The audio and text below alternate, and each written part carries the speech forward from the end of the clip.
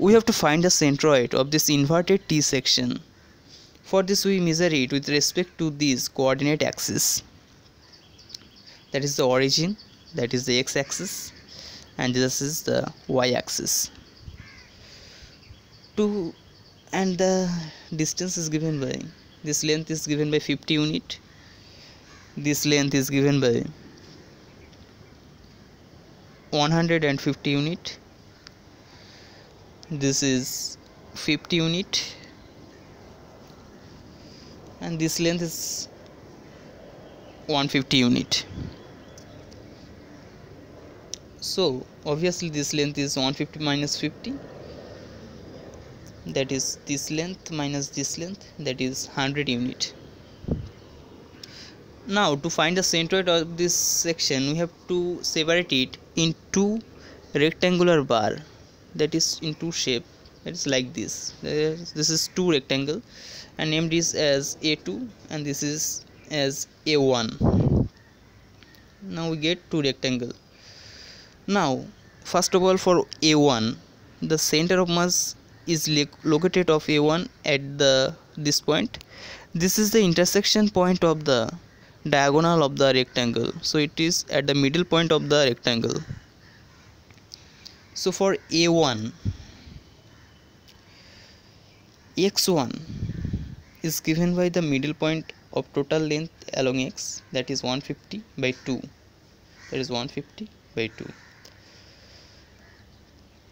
that is equal to 75 and for y1 that is the middle of 50 that is this point. So 50 by 2 that is equal to 25 and the area a1 is given by 50 into 150 that is 150 into 50 that is equal to 7500 unit square. Now for a2 for this rectangle we take the center mass is located at this point and take this as x2 y2 this is the middle point of the rectangle so for a2 x2 is equal to this this length and this is 150 by 2 because this length by 2 so it will be 150 by 2 that is 75 unit.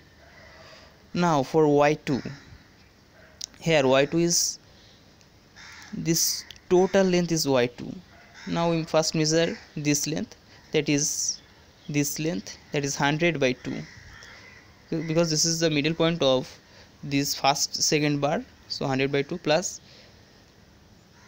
this length this plus this length. This is 50 so 50 thus we get total y with respect to the x-axis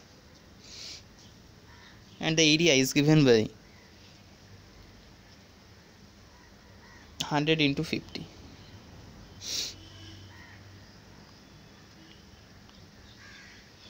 5000 okay. Now we can easily find the centroid of this total inverted T section. That is the coordinate is given by x bar comma y bar of the centroid. So x bar is equal to sum over i xi y xi ai by sum over i ai. That's equal to a1 x1 plus a2 x2 by a1 plus a2 now we have to just put the value. Like here a1 is 7500 that is 7500 and value of x1 is 75 plus value of a2 that is 5000 and value of x2 that is 75 by a1 plus a2 that is 7500 plus 5000 and after calculation you get this value as 75 unit.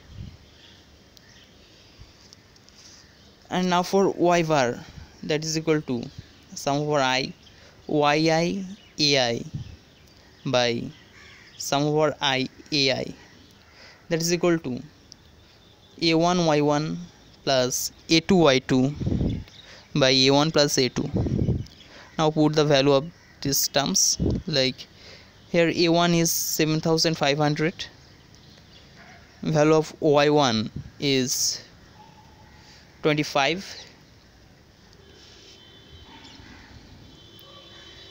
plus value of a2 is 5000 and value of y2 that is 100 now a1 plus a2 is 7500 plus 5000 and after calculation you get this value as 55 unit. Thus we get the coordinate point of the centroid that is 75 comma 55 with respect to the xy axis. Now we have to locate this point. That will be like 75 along x that is this and that is 75 comma 55 this point can be taken as the centroid of this inverted T section